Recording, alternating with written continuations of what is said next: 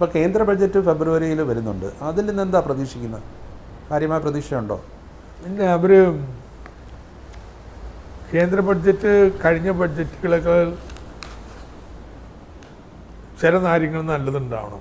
കാരണം ഇനിയിപ്പോൾ ഒരു ഓട്ടമത്സരമാണ്. എല്ലാ രാജ്യങ്ങളും കോവിഡിന് പുറത്ത് വരികയാണ്. ഇപ്പോൾ ഇന്ത്യ കയറാൻ വേണ്ടിയിട്ട് എന്തെങ്കിലും ഒരു ചെയ്യാതിരിക്കില്ല. പക്ഷെ ദൗർഭാഗ്യവശാൽ ഇന്ത്യ മുന്നിട്ട് കയറാൻ വേണ്ടി അദാനിയും റിലയൻസും ഇവരൊക്കെയാണ് ഇവരെ കൊണ്ടേ പറ്റൂ എന്നുള്ള വിശ്വാസത്തിലാണ്.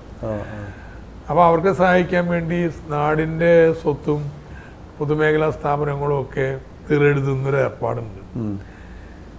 പിന്നെ ജനങ്ങൾ മുണ്ട് മുറുക്കി കൊടുത്ത് ഇവരെ സഹായിക്കണമെന്നാണ് പറയുന്നത് ആ വശങ്ങളൊക്കെ ഉണ്ടാവും അതേ സമയത്ത് ഇതുവരെ ചെയ്യാത്ത ചില കാര്യങ്ങൾ ഉത്തേജകം ചെയ്യാൻ അവർ ബാധ്യസ്ഥരായിട്ട് വന്നിട്ടുണ്ട്. അപ്പോൾ ഒരു ഞാനും താല്പര്യത്തോട് കൂത്തം കാത്തു നിൽക്കുകയാണ് എന്തായിരിക്കും അവന്റെ ചേരുവ.